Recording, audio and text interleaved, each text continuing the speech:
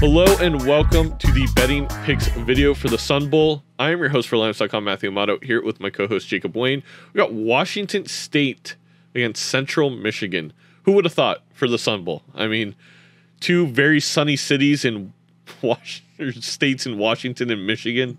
Um, in this matchup that it's going to be overshadowed obviously by the college football playoffs later in the day, but I do think you can have an entertaining matchup between these two, and I find the spread really intriguing. So, Jacob, where are you leaning with uh, Washington State and Central Michigan? Yeah, I'm actually weirdly really excited for this game. Um, I did the write up for it, and I was like, "Oh, this is a weird game. Let's see what we got here." But the more the more I read about it, and the more I read about it, the more I'm I really enjoying this game. But I think Washington State is going to be interesting. They are going to be without Max Borghi, their leading rusher, who had over thousand yards and 12 touchdowns as well as first team All Pac 12 offensive tackle Abraham Lucas. But Jayden de Laura had an awesome season. He was Pac 12 freshman of the year, and he really orchestrated an efficient offense that led the conference in time of possession. And I think he's going to be in for a good game here against a pretty weak Central Michigan defense. But I also really like the Central Michigan offense. Um, they had Lew Nichols, Offensive Player of the Year in the MAC, over 2,000 yards from scrimmage and 17 touchdowns. And then they have the potential first round pick at offensive tackle, Bernhard Raimann, as well as Kalil Pimpleton, who is the special teams player of the year in the conference and is a threat to run it back on any of these punt returns and kick returns. So you just have a lot of explosive players on both sides of the ball. But then you have the coaching difference, which you would think the Power Five team would have the coaching advantage, but their coach left midway through the year due to some COVID 19 controversy. Um, and they have the uh, I think his name is Jake Dickert. I could be wrong. Uh, double check, but coaching in his first bowl game, and then you have Jim McElwain, much more experienced head coach. So I think just the talent on Central Michigan is better than a lot of people think. I think they should be here. I think people will see this and be like, oh, like they replaced Miami. They're not that good. Let's bet on the other team. But plus seven, I really like the spread for that. Yeah. I, first of all, I want to get out of the way. I like the over in this game. I, I do think this is going to be reminiscent of a MAC game while Washington State does control possession a lot, they are going to be able to get big plays on Central Michigan. Um, at 57 and a half, I think this needs to be closer to 65. Let's go over yeah. Central Michigan. They ended the year ridiculously strong. They lost to one point by Northern Illinois, who won the conference, had a fantastic bowl game against Coastal Carolina.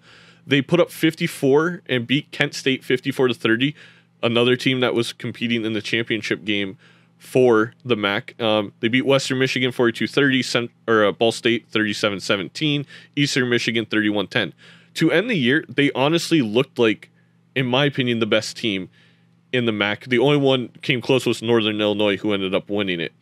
In this conference, I think they had one of the better years in, in recent memory where all these teams look really competitive against other mid tier Power Five teams. Um, and I don't see why this one's going to be any different. I think Central Michigan will be able to move the ball. It's not going to be like Washington State has some crazy, ridiculous defense they haven't seen before. They should be able to put up their normal 35, 42 points in this one. And can Washington State match that? And I actually think they do. I think the over's kind of my favorite bet. Um, yeah. But because I think it's going to be so close, I'm definitely on the Central Michigan plus seven side. yeah, the uh, score prediction I had in my article was Washington State wins 34 to 31. Mm-hmm. So I definitely like the over. I mean, I think it could be even more high scoring than that. I wouldn't yeah. be surprised at all. Central Michigan did win six of their last seven games. The only loss was to Northern Illinois by one point, like you said. And yeah, they're just a really strong team. I think the MAC was awesome this year. And I, I hope people got to watch it because I, I, had some of the most fun I had watching football this season in the MAC um, with those midweek MAC games. Uh, it was really fun. And yeah, I think it'll be cool to see this team play one more time this year.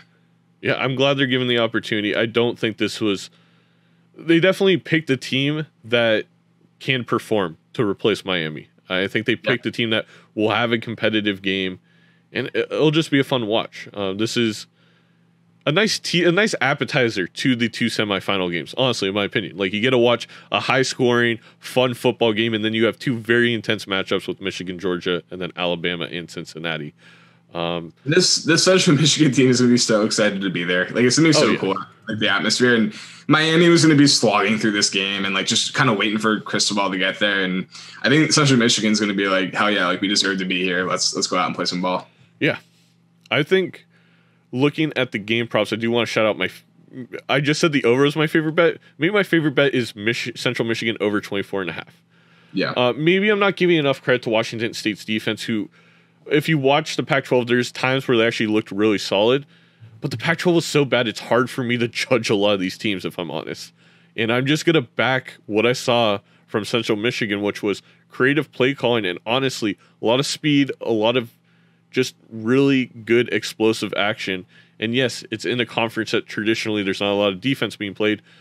But I think they went up against a couple decent defenses, Kent State, Northern Illinois, and just absolutely put up points 38 and 51. And I think they can do around that total at least 30 against Washington State. Yeah, I agree. I, I, love the over on that team total as well. I mean, Washington State ranked middle of the pack in the middle of the pack in the pack. um, in both yards and points allowed. And I mean, that's a pretty weak conference. So it wasn't like they had a lights out defense despite that. So yeah, I agree. I think the Chippewas are going to put up some points here.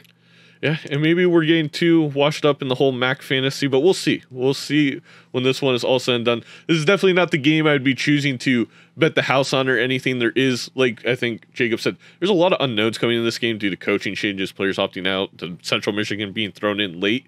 But I do think it's an enjoyable game, and there is value in this game with that over Central Michigan 24 and a half, yeah. the total over, and Central Michigan plus seven. So I think that's going to wrap it up from us. Thank you guys for watching. As always, you can click subscribe. It really helps us out. You can also click the bell to get notified when these videos go up. If you like this one, drop a like. If you did not, a dislike and comment down below your favorite bets from this game. We'll see you for the next one very soon.